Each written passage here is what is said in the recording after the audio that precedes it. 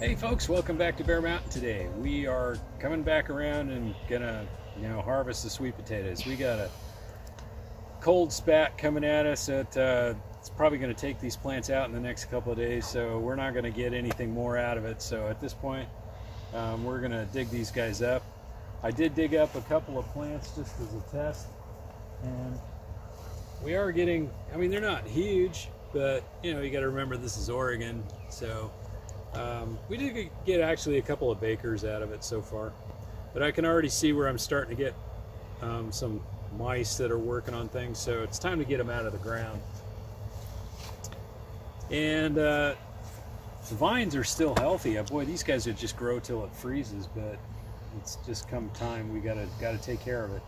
So what I'm going to do is I'll probe around, find a plant, cut the vine out, and then we'll just dig this out and let's just see how much we get out of this bed. What do you think is chewing on the leaves? Slugs. Yeah, it's been wet, you know, so it's a great place to hide underneath the foliage and all that, but the plants are outgrowing it. I mean, it, I mean, if we wanted to, I mean, we could eat these tips as, uh, you know, put them in a salad. They're edible. uh, we've already eaten some of them. Actually, re really pretty good as a green goes. So, I'm just gonna find a plant and dig them up. I've got 23 of them in here, so they should be around here someplace.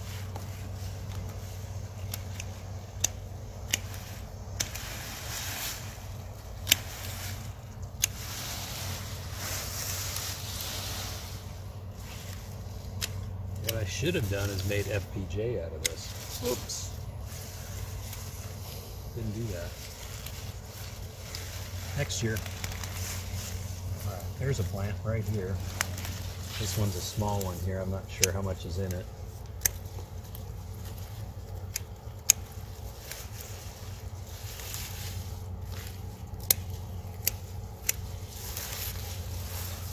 Okay. So let's see if we can get the working there. Ground is nice and soft, so that's a good thing.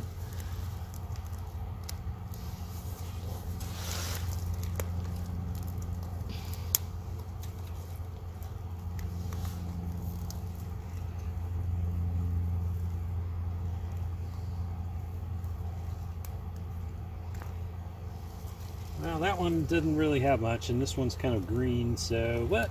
That stinks. Yeah, but you know what? We can use these small guys in making soup. Kind of didn't think that one was going to produce that much.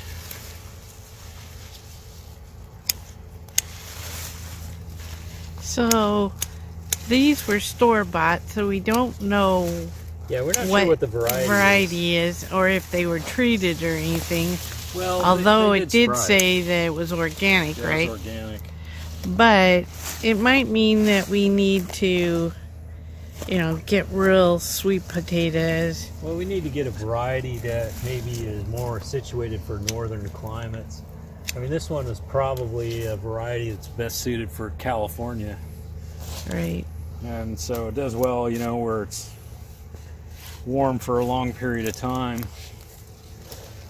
I mean this guy these guys had a real slow start because of um, It was a cool June. cool June yeah so like this one I'm not sure produced. No it's got a couple in it.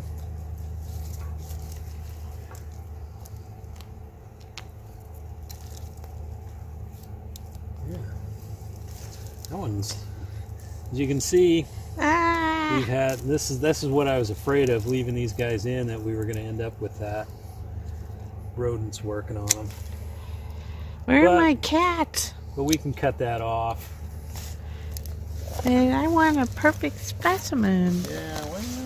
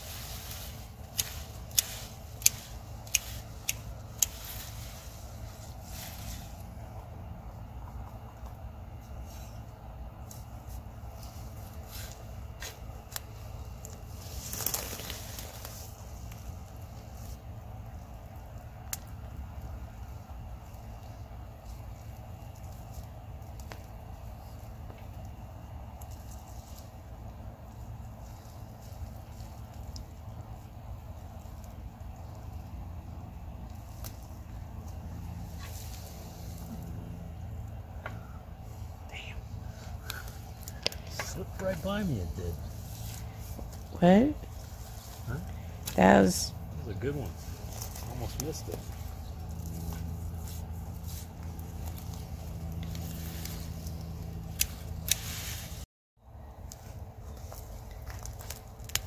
Okay, we're about a, eh, a little more than a third, maybe closer to a halfway through the bed. Some plants come up with a lot of small ones, but then we've got some other ones that are really, they're actually good-sized bakers. Um, so it's kind of varying all over the place. Like this one's tied up in a knot, so there's a couple of different ones in this one. But uh, and not too much rodent damage. We had a couple on the other side that had some damage, but these guys all look pretty good. So we'll just continue digging them out, see where we get. I think we're gonna have a nice harvest out of this for no real investment.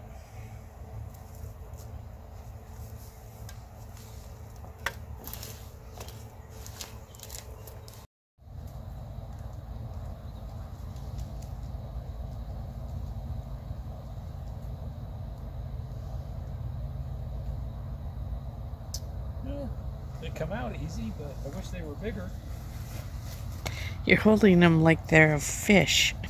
Ew.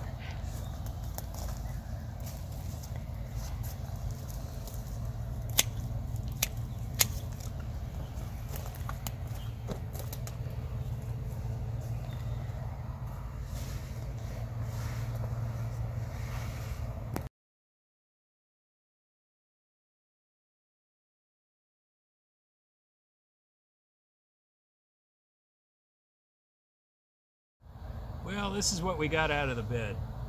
Um, we did get a few bakers, but I'd say they probably, you know, what you consider baking size sweet potato, that amounted to maybe 10% of what we dug out of this. We got a lot of guys that are just long and skinny. And probably what we're going to do after these guys, I, this is what I'm thinking about these skinny guys, is um, after they cure in a week or two, we'll, assuming that they're still okay and they didn't shrivel up to nothing, um, we'll dry them out and then use them kind of like uh, for soup. And then the other guys, some of these guys have a little bit of green on it. Once they kind of cure, I'll just cut the green parts off, and um, we can use those guys, you know, as kind of a like uh, cut cut up sweet potato chunks. I don't think we got maybe like you know, like I said, maybe 10% or what you size that you call them bakers, so to speak. What a bummer. But you got to remember, we're in Oregon. We're at the near the 45th parallel.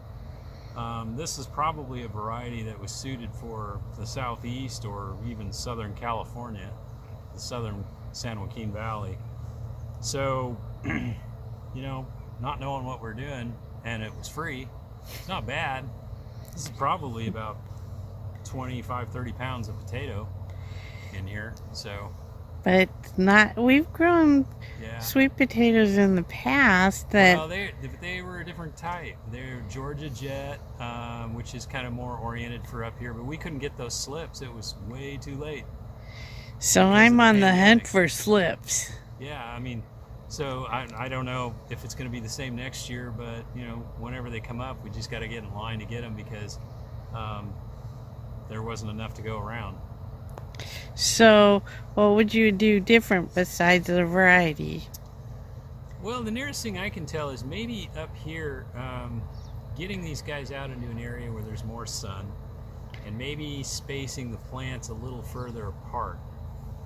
Because what I did notice is that the plants that were on the edge of the bed tended to have the bigger tubers on. The ones that were inside, because they had to compete uh, with so much of the vine from the ones on the outside, that maybe they just didn't get enough, you know, enough energy to make the tubers that they needed to make. So I think, yeah, maybe that, that would be space them out better. And um, the mulch on top of the soil system, that worked pretty good because all I did was, uh, this, this was a bed that was pretty compacted. And we applied uh, some KNF um, IMO on here, put a mulch on it, and um, you know, a couple times hitting it with um, uh, JMS which is Jadam Microbiology Solutions. Kind of the same idea. It's it's indi- indigenous microorganism solutions, kind of like a compost tea in a sense, and then keeping the mulch on top and seemed to seem to work. The mulch we used was just chopped up old blackberry vines, and you can still see they're I mean they're on their way out, but it's actually the soil is really soft and fluffy, so hard compacted soil wasn't an issue. So overall, I think you know as an experiment, it was kind of fun to do, and yeah, we still got something to eat out of it too. I mean, you look at it, I guess it wasn't that bad of a deal. But for the future, we definitely, I think you need to get varieties that are suited to do well in your climate. We're just uh, maybe a little too far north and a little too cool to get this particular variety maybe to perform at its optimum.